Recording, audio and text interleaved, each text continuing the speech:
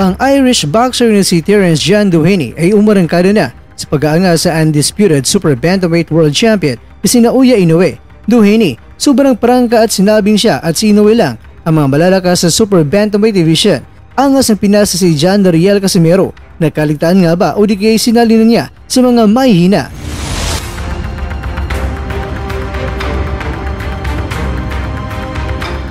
Stephen Fulton, abangan si Inoue sa featherweight division para may kasamuli ang rematch nila. Ito po ang mga nilalaman ng ating kwentuhan. Kaya tara, kwentuhan na!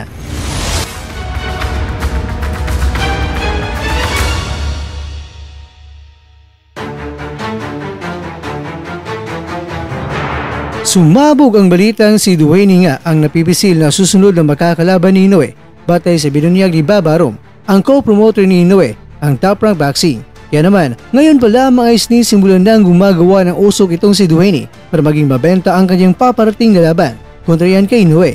Kung sakaling matuloy nga ito ngayong buwan ng Setyembre, ayon sa Yahoo News Japan, ayon sa Yahoo News Japan, nagdeklara na ng giyera talaga kung giyera itong si Duhaney kay Inoue.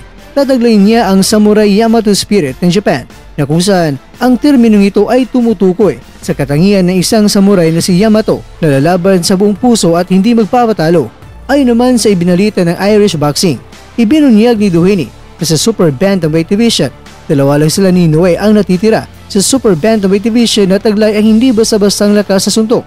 At hindi lang yan, dahil sila lang dalawa ang may estilo sa pagkipaglaban na talagang napaka-exciting kung panurin. Ulitin ko po mga kakwento ah, siya at si Inoue lang sa ngayon ang may katangian nito sa Super Bantamweight Division. Nagbanta pa si Duhaney ng paparating nila na laban ni Inoue ay talagang may tuturing na isang digmaan talaga. Hindi siya katulad ng ibang mga boksingero na kung saan lalaban sila kay Inoue na dinadaga ang dibdib dahil ni katiting na takot na mararamdaman niya habang makipagduelo kay Inoue ay talagang hindi niya ito mararamdaman at hindi rin ito makikita ng mga tao na talagang takot siya kay Inoue kung talagang matuloy ang kanilang laban. Aminado naman si Duhaney na malakas ng itong si Inoue at naniniwala siya na magagawa ni Noy na mapalabas sa kanya ang pambirang lakas at galing niya sa boxing. Kaya naman, ito kaya ay nangangulugan na itong si Casimero ay nakaligtaan na ni Duane kundi kay kabilang na si Casimero sa mga mahihina. Ikaw kwento, ano naman ang masasabi mo dito? Samantala, ang dating world champion at walang talo na Amerikanong si Stephen Fulton ay nagsalita na at umamin siya na wala sa isipan niya na kayang pabagsakin ni Luis Neri itong si Inoue sa round 1 at higit sa lahat ay napanga siya sa ginawa ni Inoue na nakarecover pa at pinabagsak pa ng tatlong beses itong si Neri bago tuluyang idiniklarang panalo si Inoue. Pero ganun pa man, ayon kay Fulton, siya ay mag-abang na lang kay Inoue sa pag-akyat nito sa featherweight division at gusto pa ni Fulton na dapat may hawak na siyang world title belt para may dahilan na lalaban talaga itong si Inoue sa kanya pag-akyat nito sa featherweight division. Kaya gagawin ni Fulton ang lahat-lahat para siya ay muling maging world champion at sa featherweight division na ang target niya ngayon. Mga kakwento, may iba lang po ako. Bagamat may mga news article ako inilalagay sa aking video para malaman ninyo na ang mga ibinabagi ko sa inyong mga balita ay talagang may mga pinagbabatay na legit na mga impormasyon at hindi po katang isip lamang. Pero ang iba pa rin ay nagsasabi na saan galing ang balita niyan, fake news na naman. Kakwento, ito lang talaga ang masasabi ko sa inyo. Uh, may the Lord God bless you.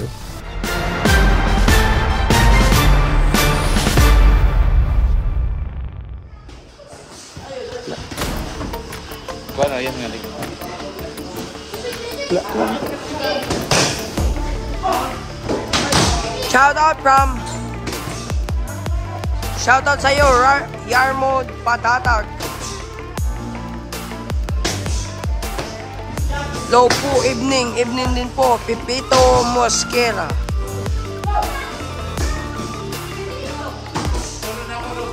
Oh. Nana.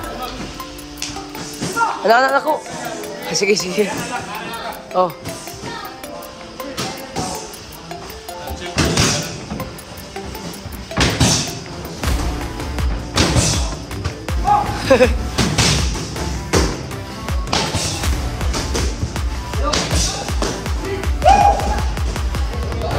Shout out Noel from Davao. Shout out sa iyo. Jai Ku. Ilan laban Nols? I don't know. Murag ambot. Shout out from Tacloban City.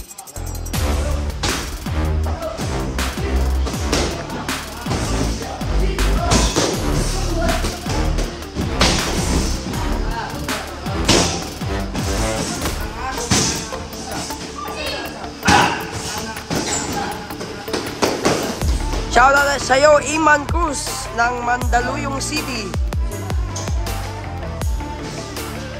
Shoutout from Davao. Shoutout sa'yo, Michael Gulong, RG. Shoutout, Lods. Shoutout sa'yo, Carpio.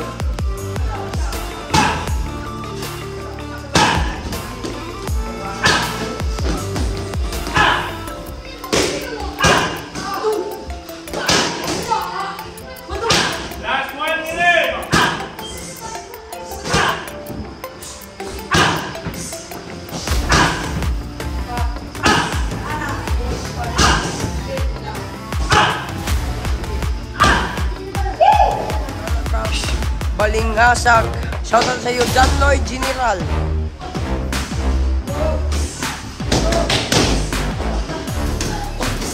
Shoutout from Barangay Mabini, Mulanay, Quezon. Shoutout Lodge from Claridel, Misamis Occidental. Shoutout sa iyo. Saiking Virgado, Pumawan.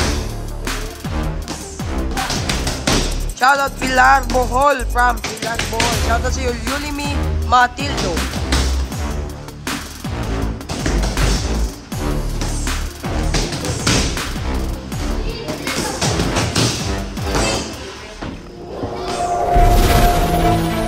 At dyan, nagtatapos ang ating kwento.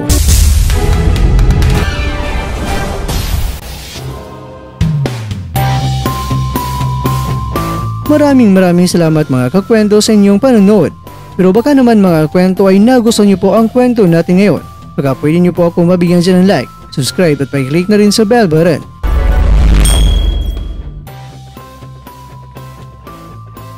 Pero bago tayo matapos mga kwento ay syempre, shoutout po muna tayo dyan sa ating mga kakwento. Kay kakwentong Ramila Panapan, kay kakwentong Jobert Almagro, kay kakwentong Maxi Cool, at ikaw kakwentong nanonood yung shoutout siya dyan.